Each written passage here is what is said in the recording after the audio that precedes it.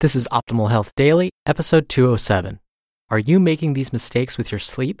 Part 2 by Steve Kamb of nerdfitness.com. And I'm Dr. Neal. Welcome back to Optimal Health Daily, or welcome for the first time if you're new here. This is the podcast where I act as your very own personal narrator and read to you from some of the most popular health and fitness blogs online, including Nerd Fitness, Ben Greenfield Fitness, Steve Pavlina, and many more. If there are any authors that you read but would like narrated for you, come by and let us know. You can get in touch with us at oldpodcast.com or on our Facebook group. The shortcut link to that is at oldpodcast.com slash Facebook. Just as a quick reminder, today's post is a continuation from yesterday. So if you're new here or skipping around, you'll probably want to stop and check out yesterday's episode first. That's episode 206. But for the rest of you, let's hear part two of the post and continue optimizing your life. Are you making these mistakes with your sleep? Part 2 by Steve Kamb of nerdfitness.com. How to get better sleep. We have a circadian rhythm, a daily biological clock that ebbs and flows throughout the day. Our body uses stimuli and our own activity to produce certain hormones at certain times to make our body more prepared for the required functions at that time. For example, alertness versus restfulness. Look at it from an evolutionary perspective way back in the day, which was a Wednesday. When the sun rose, our bodies are signaled the day has begun, get cracking. We reduce the hormones that make us sleepy and produce more hormones that allow us to do the things that need to get done. As the sun went down, our body starts to produce more melatonin, which produces that sleepy feeling and encourages us to rest or recover. Our only option for light back then was a candle or a campfire. If that went out, we'd have moonlight and nothing else. While sleeping, our bodies knew to cut back on urine production, decrease body temperature, decrease heart rate, and decrease muscle activity. Our brains are still highly active during our sleeping, though. Unfortunately, these days, our bodies aren't tied to the rise and fall of that giant ball of gas above us. Instead, we can use electricity, alarm clocks, computer screens, smartphone screens, and all other sorts of outside stimuli to adjust our natural sleeping schedule. This means that our bodies often have no effing clue what time it is. Here's how we can get back to our roots, not to be confused with the roots. Trying to get to bed sooner or fall asleep sooner? Limit your exposure to the blue glow of your computer screens, TV screens, and phones later in the evening. Our bodies look at blue light and think, sun is up, sky is blue, more energy. Conversely, lights with a red or orange hue are more reminiscent of a campfire or candle. If you are somebody who has to spend time on your computer at night, consider installing a program like F-Lux. It syncs with the sunrise and sunset in your time zone, gradually shifting your screen's hue from blue and bright to red and dim. I've been using the app for over a week now and have quickly adjusted to it. Purchase Old Man Blue Blocker glasses, which limits the colors your eyes are exposed to after the sun has gone down. Add two charisma points for style, too. A tip of the hat to my buddy Anthony for this one. Consider purchasing red light bulbs to install in your bedroom. Consider getting blackout curtains for your bedroom windows, especially if you live in a city.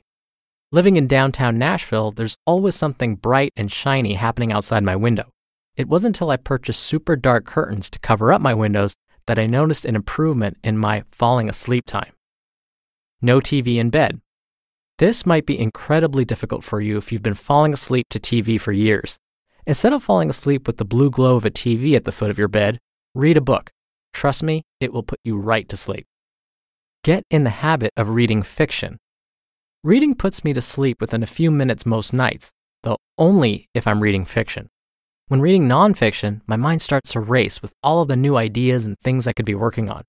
Either read real books or read on a Kindle, but no iPads buy the right type of mattress for you. I slept on a soft mattress with two mattress pads for a few months years ago and wondered why I woke up with lower back pain every day. Turns out my back was jacked up and the soft mattress made things even worse. Since switching to a firm mattress, I wake up without back pain. Lesson learned here I'm not smart. A lot of this can depend on how you sleep. Are you a side sleeper, back sleeper, stomach sleeper? Turns out there's some evolutionary reasons why some styles work better than others. Personally, I use the half military crawl position outlined by Tim Ferriss. Have allergies? Try a hypoallergenic pillowcase. Your allergies could be affecting you while you sleep, and having the proper pillowcase can make a world of difference. How to get more sleep. So we've covered how to get better sleep. What if you also need to get more of it? In order to start getting more sleep, sleep must become more of a priority. If you constantly stay up too late because things need to get done, evaluate how your time is spent after work. Seriously, think about it. Are you doing the important tasks first? Or are you messing around on the internet and not starting your tasks until late in the evening? Are you watching late night shows long after they become enjoyable simply because your DVR records them?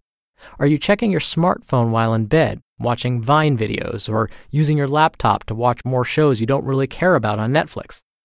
Yes, I understand we have parents who read Nerd Fitness and have to stay awake and function on minimal sleep.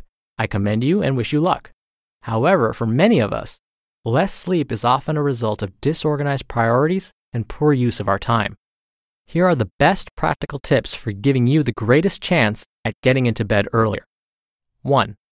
Don't drink caffeine after lunch if possible. Caffeine can have an effect up to six hours after consumption. We love caffeine for many reasons, in moderation. However, you want to make sure it's not consumed too late or your body will revolt. 2 turn off the electronics sooner. I have to enforce a laptops closed by 11 p.m. or a TV off after 10 p.m. rule on many nights, or I never get to bed. I get lost in internet land far too easily. Putting in actual barriers really helps. If you find yourself checking Facebook and Twitter and other sites incessantly, block yourself from those sites after a certain time. 3. Stop watching TV shows. DVRs can be helpful but it's so easy to record shows without a second thought, and then we end up spending way too much time watching TV. I recently cut out three fourths of the shows I was recording on my DVR. Now, when I go to it, there are only the shows I actually enjoy Parks and Rec, The League, The Walking Dead, and my TV watching time has dropped significantly. 4. Shift things by 15 minutes every week. If you want to get to bed sooner, don't just try to get to bed an hour earlier than normal. You'll probably lie in bed for that whole hour, wondering why you can't fall asleep, stressing yourself out and making things worse. I shifted my pattern by waking up 15 minutes earlier and getting to bed 15 minutes sooner. Then I repeated that process over a series of weeks. Eventually, you can shift your bedtime by an hour or two, but do it gradually. How to wake up better. Hear that on tomorrow's episode. You just listened to part two of the post titled, Are You Making These Mistakes with Your Sleep? by Steve Kamb of nerdfitness.com. And I'll read part three tomorrow as promised. I really, really like this section of Steve's post. There are so many things I want to say, but maybe I'll save them for tomorrow and Thursday's episodes. I love that he's promoting to do things gradually. If you want to try waking up an hour earlier and you start doing that immediately without gradually incorporating this into your lifestyle, you may find that you'll get sick or you're not going to be able to perform nearly as well as you normally would. But just 15 minutes earlier, now that's not super significant. But over time, as he said, you build on that. And when Steve talked about the sun rising and the sun setting, we do find that those that follow a normal schedule, our stress hormones do rise first thing in the morning, coinciding with the sun rising, and then they typically fall during the evening hours when we're trying to get to sleep. There's also this slight dip in our stress hormones that occurs between the hours of 1 and 3 or 4 p.m. Many health professionals claim that our bodies are actually preparing for a mid afternoon nap. In fact, in many countries, they actually take this time to shut things down and give themselves time to rest. So if you're ever finding yourself sleepy right after lunch, it may not be your fault. It may just be because your stress hormones are taking a nosedive at that point and your body's preparing yourself for a nap. If you're able to, without disrupting your work or your school or your lifestyle, go ahead and take a 20 minute snooze. But what we're also finding, which is really interesting, is when we study folks who don't work during the day, but rather work the night shift, they are at an increased risk for disease. The theory is that our bodies are built to be awake during the day and asleep at night, but by messing with that rhythm, we increase our risk for disease. But again, there's definitely more I want to say about this, but I'll save it for tomorrow and Thursday's show. Now, don't forget, if you want to suggest authors or get in contact with us for any reason, you can visit oldpodcast.com. But we also have a Facebook group where it's even easier to get in contact. The shortcut link is oldpodcast.com slash Facebook. Or you can search for Optimal Living Daily Podcasts and request to join from there. We also give away books in the Facebook group, so a little more reason to join. Again, the shortcut link that'll take you straight to it is oldpodcast.com slash Facebook. All right, that's enough from me for today. I hope you're having a great week so far. I'll see you on tomorrow's show where your optimal life awaits. Hello, Life Optimizer. This is Justin Malik, creator and producer of this show and Optimal Living Daily, the brother podcast of this one. Literally, I'm Dr. Neal's brother. If you like the format of this show, you'll love Optimal Living Daily too, where I also read to you from blogs, but cover other topics like personal development, finance, and minimalism from bloggers like Derek Sivers, The Minimalists, Zen Habits, and many more. So for more amazing content read to you for free, come subscribe to Optimal Living Daily too and together we'll optimize your life. You've been listening to Optimal Health Daily.